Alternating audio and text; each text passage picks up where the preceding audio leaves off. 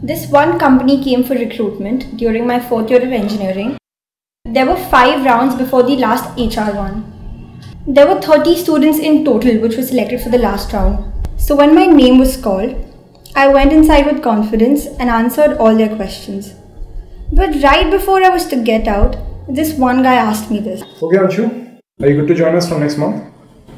Yes. Uh, please just wait outside. Just one more question. Tell me something about your family.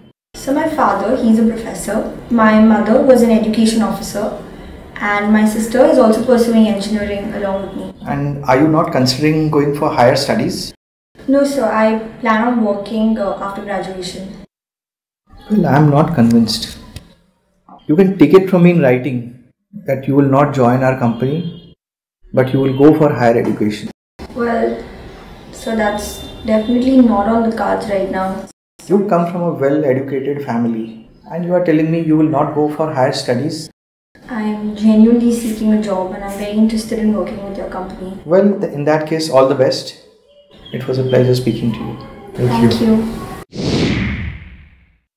Result 29 candidates got selected out of 30, and no prizes for guessing. The one who didn't get selected was me. P.S.